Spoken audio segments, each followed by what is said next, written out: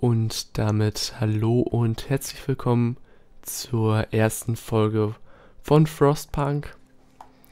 Ja, ein sehr interessantes Spiel, was ich äh, schon etwas länger besitze und immer sehr gerne gespielt habe. Und äh, ja, ich habe mich jetzt mal dazu entschieden, das Ganze auch mal auch in einem Let's Play zu machen. Ähm, beziehungsweise das heißt ja nicht mehr Let's Play, der Begriff Let's Play ist ja mittlerweile out. Ähm, ja, das einfach mal zu spielen mit euch zusammen. Genau. Und ja, wir werden erstmal anfangen mit dem ganz normalen Ein neues Zuhause-Modus. Ähm, und ja, wenn wir den durchhaben oder vielleicht auch vorher scheitern, wer weiß, ähm, dann können wir ja Mal gucken, ob wir noch vielleicht ein anderes Szenario spielen wollen oder mal den Endless-Modus spielen möchten. Das können wir dann sehen. Ja, wie immer äh, freue ich mich dann äh, dabei sehr auf äh, eure Kommentare und eure Meinung äh, bezüglich des ganzen Projekts und auch zu dem, was ich dann dabei mache. Aber jetzt äh, fangen wir erstmal mit der Hauptgeschichte an, mit ein neues Zuhause machen das einfach ganz standard, standardmäßig, passen da nichts an. Und dann geht es los.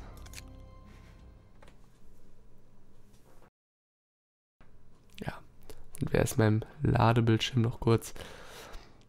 Also, Frostpunk, für die von euch, die es noch nicht kennen, ist ein ja, Spiel im Steampunk-Stil. Äh, ja, ich weiß nicht, wer das von euch kennt, den Stil.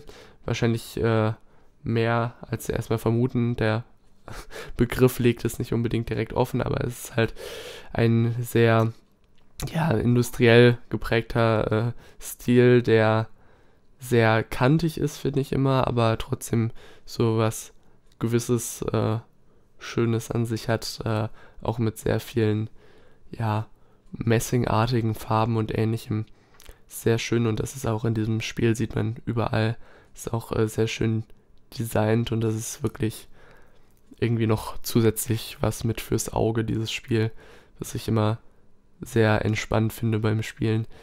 Ähm, ja, weil es eben diese, die Grafik ist einfach äh, super und ist auch richtig schön umgesetzt. Und äh, ja, immer wieder mit so kleineren Elementen. Aber jetzt geht's auch. We roam the still, cold world. No horizon in sight. The rulers of old, stripped of pride and glory. It feels as yesterday we were turning the wheels of progress. Until the frost stopped it all. Suddenly, without a warning. When tides had changed, they changed for all of us, no matter wealth or class. We've lost our world to snow. And with it, our last traces of humanity.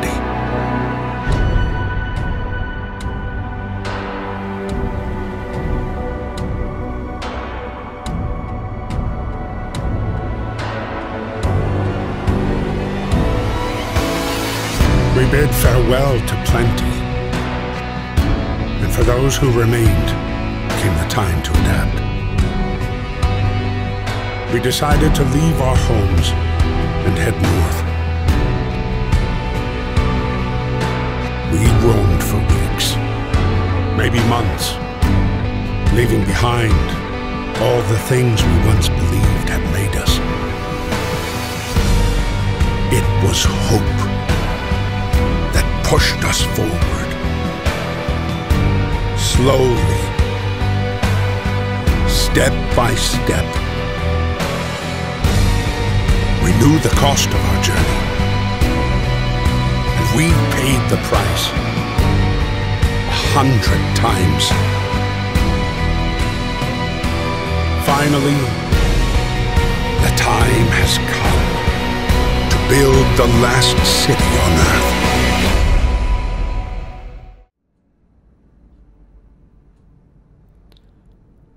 Wir flohen aus London und überquerten das Meer, um den eisigen Norden zu erreichen.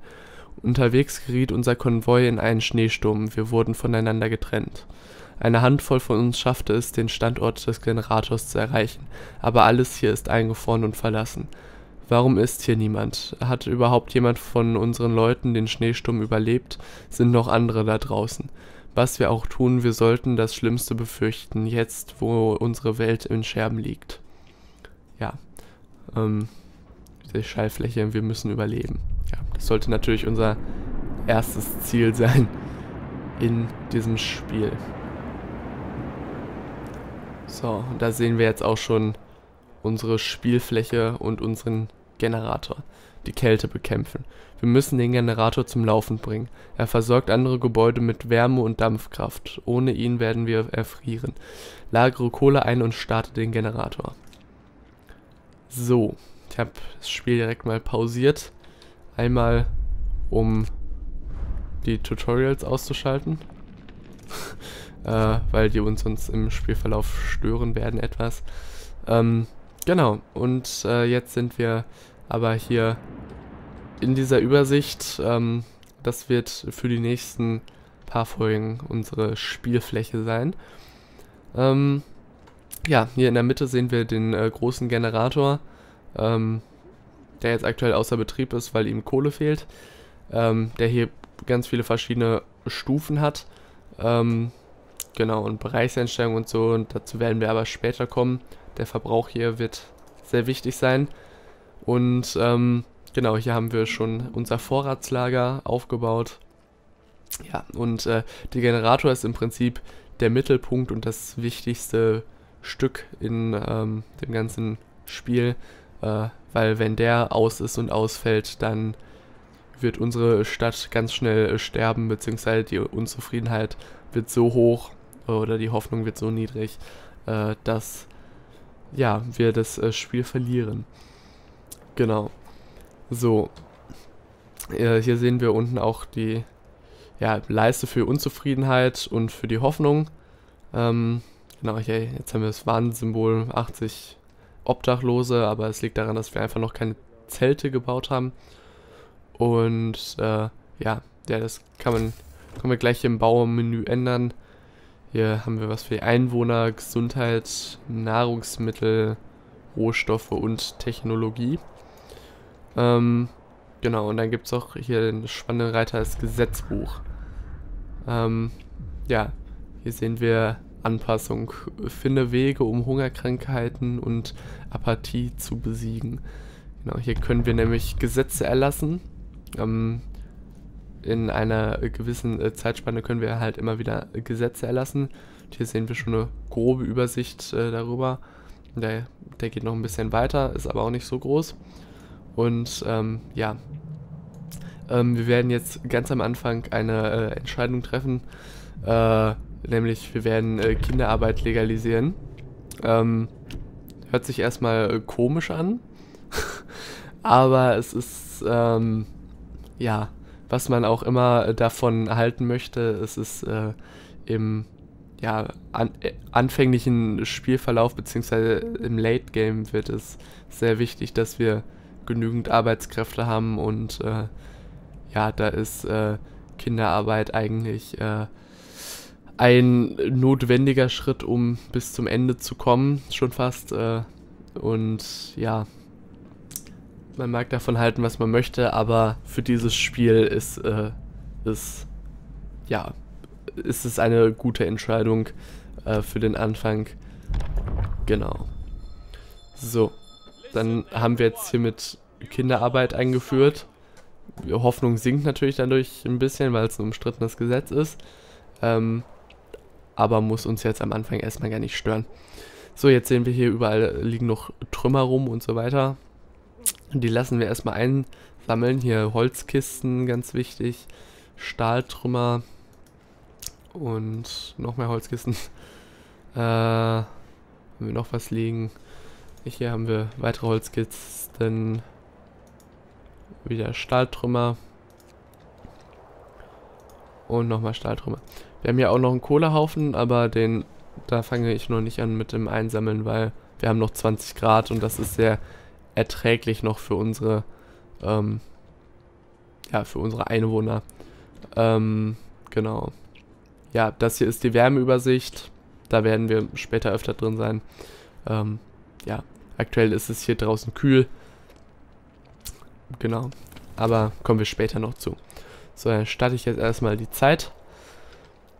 Und wir sehen hier jetzt schon unsere Aufgabe, lagere Kohle ein, schalte den Generator ein. Damit werden wir erstmal noch ein bisschen warten, bis hier der erste Temperatursturz kommt. Hier, das ist so eine kleine Vorausschau, eine Zeitleiste. Und hier beschweren sich jetzt äh, natürlich die Arbeiter ein bisschen über das umstrittene Gesetz, aber das nehmen wir erstmal so hin. Jetzt sehen wir hier die Leute losziehen zu ihren Arbeitsplätzen, weil wir noch keine Straßen gebaut haben, gehen die jetzt hier durch das, müssen die sich einen Weg durchschlagen. Aber beschleunigen wir mal ein bisschen. Ja, und der reguläre Arbeitstag geht bis 18 Uhr. Ähm, ja, kurz vor 18 Uhr werden wir die Zelte dann mal in Auftrag geben, ähm, dass die gebaut werden hier, damit die eine Unterkunft haben. So. Ja, 1, 2, 3, 4, 5, 6, 7, 8. In jedes Zelt passen jeweils immer 10 Leute rein. Deshalb baue ich erstmal 8. Dann eine Sanitätsstation ist wichtig, weil am Anfang werden sehr viele Leute noch äh, Probleme bekommen mit Nahrung, äh, Quatsch, mit Nahrung, mit der Kälte ähm, und erkranken. Und ähm, ja, Nahrung brauchen wir ein Speisehaus für. Das stelle ich jetzt erstmal hier hin. Und wir brauchen auch eine Jagdhütte noch. Ähm, damit warte ich aber noch einen Moment, beziehungsweise, nee, ich baue das erstmal alles jetzt so weit wie ich kann. Äh, hier wird man nachher, hier ist, kann man Außenposten dann eröffnen und so weiter, deshalb baue ich da in die Richtung schon mal die Straße. So weit wie es gerade geht. Genau. So. Ähm. Und dann äh, bauen wir hier mal ein paar Werkstätten. Das sind im Prinzip unsere Forschungslabore. Mal gucken, wo grenzt an die Straße an. Äh, sehe ich gerade schlecht. ja, es müsste hier sein. Ja. Setzen wir erstmal nur zwei hin, später werden wir da mehr hinsetzen. Genau, und das war jetzt das Signal, dass die dass heute nicht mehr gearbeitet wird. So, dann werde ich jetzt hier mal die Ingenieure einmal wegnehmen und die können hier rein und machen nämlich jetzt im Speisehaus dann äh, Rohnahrung zu Essensrationen. So, und hier haben wir jetzt so eine Art Event. So, ja, die Heizung ist ausgefallen. Der Generator ist deaktiviert. Die Leute haben Angst zu erfrieren, während sie schlafen. Vielleicht sollten wir den Generator zumindest nachts einschalten. Ähm, ja, ignorieren wir jetzt erstmal, weil 20 Grad, wie gesagt, das ist absolut erträglich für die. Die schaffen das locker. Da brauchen wir nicht am Anfang schon Kohle für zu verwenden. So. Gut, jetzt bauen die fleißig ihre Zelte.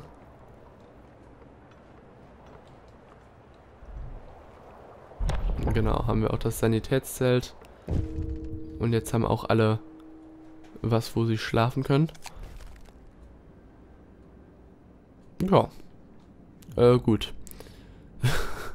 wir waren nicht schnell genug damit, die Zelte zu bauen, deshalb äh, sind jetzt drei schon verstorben. Das ist ein super Anfang. Ähm, ja. Normalerweise passiert das nicht so schnell, aber war mir einfach gerade zu langsam. So, jetzt äh, müssen wir uns um die Frage kümmern, wie denn die Leichen entsorgt werden überhaupt. Ähm, ja, ganz spannend. Äh, wo, ob wir sie auf den Friedhof bringen oder einfach ins Sorgen in Schneegruben.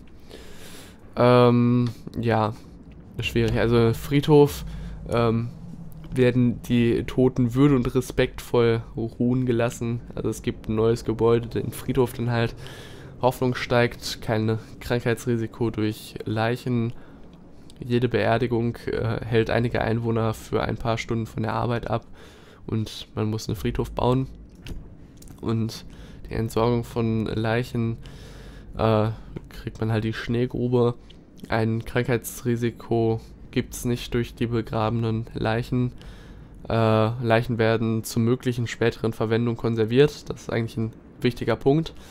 Ja, man muss eine Schneegrube graben und die Hoffnung sinkt und die Unzufriedenheit steigt. Das ist etwas blöd gerade, aber äh, dass Leichen werden zur möglichen späteren Verwendung konserviert, ist eigentlich ganz praktisch, weil später können wir dann halt Organe transplantieren und so.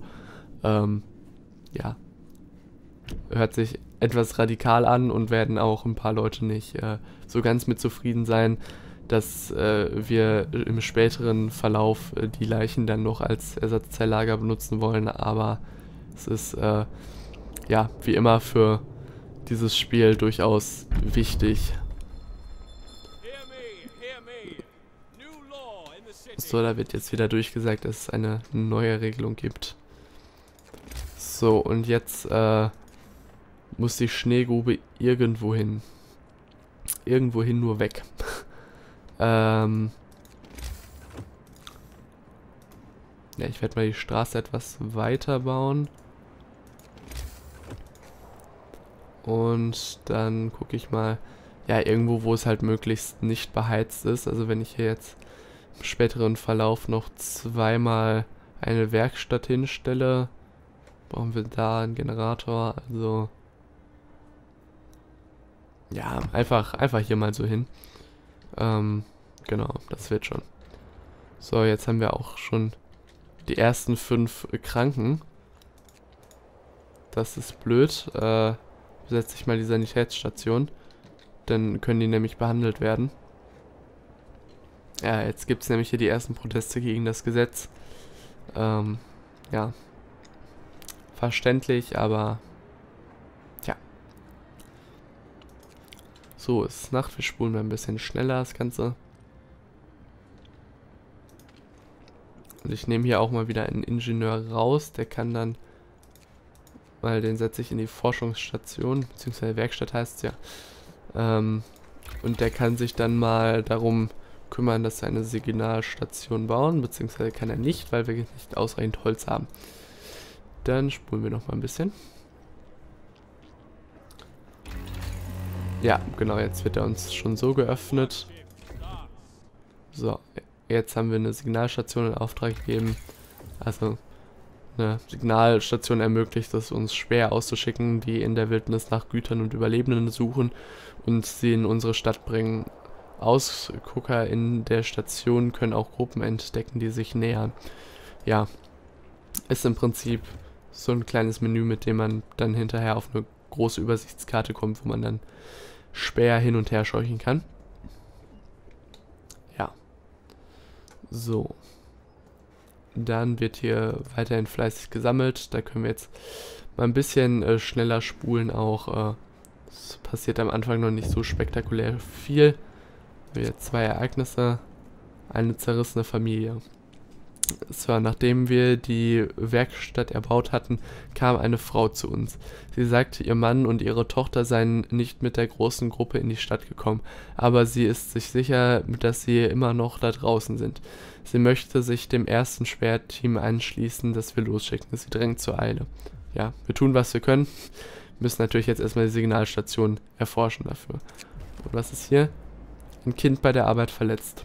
Mein Kind hat sich bei der Arbeit auf der Arbeit ablenken lassen und wurde verletzt. Der Unfall war nicht sehr ernst und äh, all und allein dem Leichtsinn des Kindes geschuldet. Ja, blöd gelaufen. Das kommt daher, dass wir Kinderarbeit legalisiert haben. Es wird wahrscheinlich auch noch später öfter vorkommen. Aber tja, ja, wir geben jetzt einfach mal äh, dem Kind einen Tag frei. Das lässt die Hoffnung ein bisschen steigen, anstelle des äh, auszuschimpfen. Da sinkt die Hoffnung. Aber Hoffnung können wir am Anfang erstmal auch gebrauchen. So, spulen wir wieder etwas schneller. So, die Schneegrube ist errichtet, wunderbar. Genau, gut. So. Dann lassen wir die hier alle erstmal noch weiterhin sammeln. Ja, Heizung ist natürlich immer noch nicht an. Diese Nacht sollte niemand sterben. Ähm, wenn, ist es komisch. Ein neues Gesetz kann eingeführt werden. Ja, gucken wir doch mal. So. Also, ähm, was führen wir denn mal für den Anfang noch mit ein? Also wir haben jetzt hier verschiedene Möglichkeiten wieder. Hm, ja, ich werde, denke ich, erstmal Notfallschichten einführen. Ähm, ja, manchmal müssen wir auf unsere Kosten vor allem anderer auf die... Was? Ja, doch, ist richtig. Manchmal müssen wir uns auf Kosten von allem anderen auf die aktuelle Aufgabe konzentrieren oder sterben. Ähm, ja. äh, genau, neue Fähigkeit. Du kannst Arbeiter in jeder Einrichtung zwingen, die nächsten 24 Stunden zu arbeiten. Ja, Einsatz der Notfallschicht wird die Unzufriedenheit steigern. Die Unzufriedenheit steigt leicht an. Genau, kriegen wir so einen Knopf in jeder Einrichtung und dann können wir die halt alle zwei Tage zu einer äh, 24-Stunden-Schicht zwingen. Steigt die Un äh, Unzufriedenheit wieder ein bisschen an.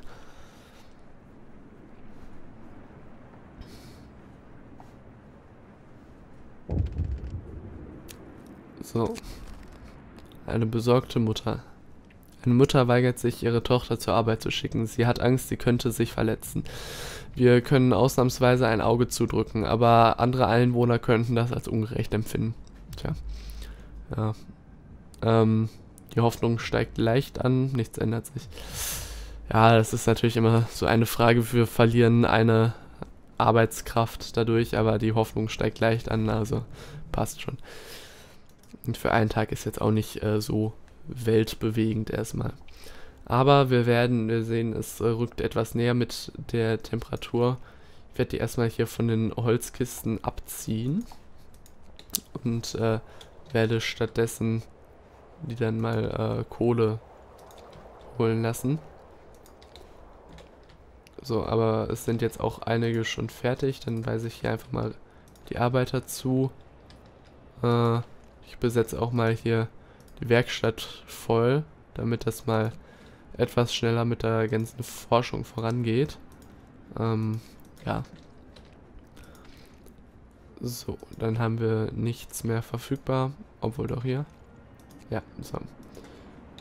Noch etwas gesammelt und ja. Beschleunigen wir wieder, die schlafen noch alle. Ja, jetzt kommen sie raus. Dann beginnt jetzt um 8 Uhr die Schicht. Holzkisten erschöpft. Gut, das heißt, wir können wieder neu verteilen. Dann weise ich hier mal wieder das Ganze zu. Hier auf voll. Äh, ja. Dann sammeln wir die Reste noch ein, die hier rumliegen. Da haben wir auch nur noch Kohle jetzt aktuell.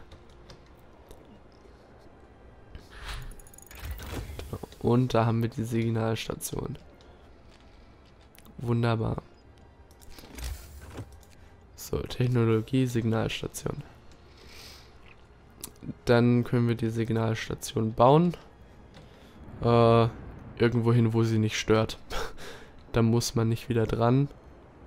Ah, ich sehe aber gerade, die sind hier etwas versetzt gebaut. Das ist äh, blöd. Die reiße ich gleich mal ab. Muss ich jetzt mal gucken, wie das am besten passt. Äh, die sind immer zwei. Nee, oder drei? Die sind immer drei lang. Ja, ich, ich positioniere die einfach.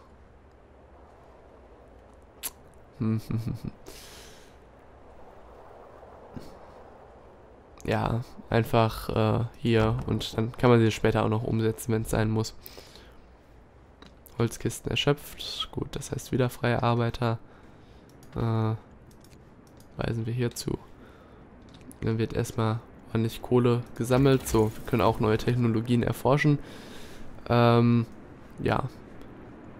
Ich denke, erforschen wir erstmal... Ja, für den Anfang brauchen wir auf jeden Fall... Ja, obwohl... Ich versuche es immer gerne zu umgehen, das äh, Sägewerk erforschen zu müssen, weil das braucht man halt einfach nie wieder. Ähm, genau, erforschen wir einfach erstmal die nächste Stufe und geben nicht allzu viel Holz aus. Dann sollte das jetzt auch passen. So, Nöte der Frauen. Eine Frau sitzt an der Schneegrube und hält die Hand ihres Mannes, während sie bittere Tränen vergießt. Vielleicht hätte man ihrem Mann ein, ihrem Mann ein ordentliches Begräbnis zugestehen sollen. Tja. Ähm. Ja, ich habe getan, was ich tun musste, genau. Ja, ist jetzt halt. Am Anfang beschweren sie sich noch ein bisschen, aber das äh, lässt dann mit der Zeit auch nach. Gut. So. Neues Gesetz was machen wir jetzt? Also radikale Behandlung oder Lebenserhaltung? Also Lebenserhaltung, wir können die Schwerkranken nicht heilen, aber wir können sie wenigstens am Leben erhalten. Wir werden nicht riskieren, sie durch radikale Behandlung zu Amp Amputierten zu machen. Ähm, ja, die Schwerkranken werden in Sanitätsstationen am Leben gehalten, aber nicht behandelt. Die Hoffnung steigt leicht an. Die Unzufriedenheit steigt lang an, äh, leicht an und äh, die Schwerkranken werden nicht behandelt und bleiben eine Bürde. Die Schwerkranken belegen Betten in Sanitätsstationen. Oder radikale Behandlung. Wir werden alles versuchen, um die Schwerkranken zu heilen. Von Invasivchirurgie bis zur Amputation. Ja, die Schwerkranken werden in Sanitätsstationen behandelt. Die Hoffnung steigt leicht an. Circa 30% der in Sanitätsstationen behandelten Schwerkranken werden zu Amputierten die Unzufriedenheit steigt leicht an. Ja, also ich werde radikale Behandlung nehmen, ähm, ja, weil es halt einfach blöd, die Sanitätsstationen sind dann nach kurzer Zeit ziemlich voll und dann müssen wir noch viel mehr Sanitätsstationen bauen und das wird einfach nur eine große Last und äh, ja, deshalb keine Lebenserhaltung, sondern radikale Behandlung und im späteren Spielverlauf haben wir auch die Möglichkeit, den Amputierten wieder Prothesen herzustellen, mit denen sie dann äh, zu ganz normalen Arbeitskräften werden. Deshalb äh, radikale Behandlung. So. Wir haben jetzt mal die nächste Stufe ganz schnell erforscht und äh, ja, besorgen uns einen Mauerbohrer. Mit diesem Mauerbohrer können wir uns nämlich gleich Holz heranschaffen. Genau. Ja, Signalstation gebaut. Wir sind nicht länger verschollen oder blind. Von nun an können unsere Leute die eisige Ödnis äh, untersuchen, die uns umgibt, Frostland.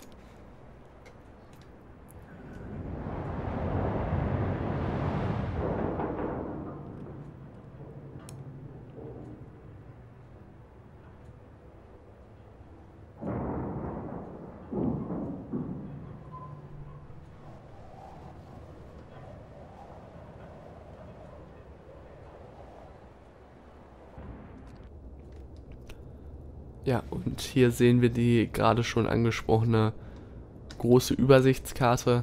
Ähm, ja, das hier ist unser wunderschön begrünter Bereich. ja, alles äh, sehr frostig und kalt. Ähm, ja, hier ist unsere Stadt und hier haben wir immer Expeditionen, die wir machen können, die sich dann über das ganze Gebiet verteilen werden und äh, wo wir ja Nahrungsmittel und so weiter finden können und Dampfkerne, dazu kommen wir aber später noch, und eben auch äh, ja, Überlebende aufnehmen können in unser Lager. Ja, genau. Damit werden wir uns aber erst äh, später beschäftigen, nämlich äh, dann in der nächsten Folge höchstwahrscheinlich. Ja, die Heizung ist immer noch aus. Wir sehen aber, es rückt immer näher, hier das äh, Ganze. Ähm, ja. Und äh, gleich wird es den ersten Temperatursturz geben. so bereit zur Suche. Die Leute jubeln, als der große Beobachtungsballon in die Höhe steigt. Es ist eine große Leistung und alle sind stolz auf die Arbeit, die sie dazu beigetragen haben. Eine Reihe von Freiwilligen brennt darauf, im Frostland nach unseren vermissten Leuten zu suchen. Die Frau, die sich bei uns gemeldet hatte, ist auch dabei. Ja, wir brauchen einen Erfolg. einen Erfolg natürlich. So, und dann können wir nämlich gleich schon den Generator anmachen, weil es wird äh, kalt werden. Und äh, dann ja, gehen wir einmal in die Wärmesicht rein und da sehen wir jetzt, hier ist noch ist komfortabel in den Werkstätten und hier ist aber auch erträglich die Temperatur. Aber gleich wird das Ganze um eine, oder? Um zwei Stufen wird das sogar sinken, die Temperatur. Und dann äh, wird es, ja, sehr kalt können uns das ja mal angucken. Jetzt wird gleich zum ersten Mal die Temperatur fallen.